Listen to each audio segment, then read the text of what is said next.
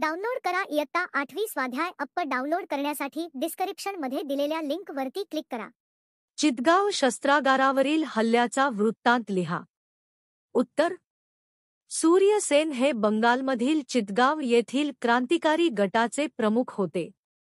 त्यांनी आपल्या भोवती अनंत सिंग गणेश घोष कल्पना दत्त प्रितिलता वड्डेदार अशांसारख्या निष्ठावान क्रांतिकारकांची फौज गोळा केली.